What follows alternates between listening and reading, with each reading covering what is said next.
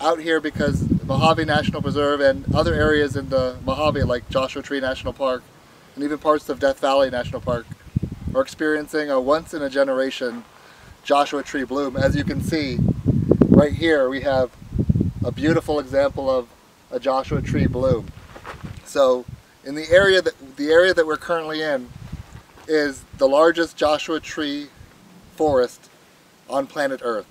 Joshua trees are only found in the Mojave and here in Mojave National Preserve at the top of Cima Dome is the largest and densest forest of all.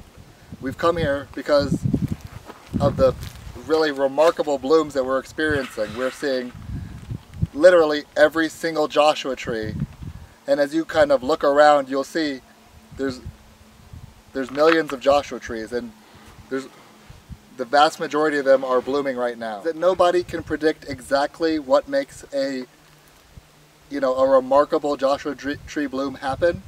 What we do know is that it has it has to do with the amount of rainfall that we get in late summer and in, in um, and in winter. It also has to do with the amount of cold weather we get. Um, this year we got a really really large late season rain in the end of summer. We also got a number of rains and snows up here in this high elevation at 5,500 feet in the winter. And so we think that those are factors that have contributed to this remarkable bloom.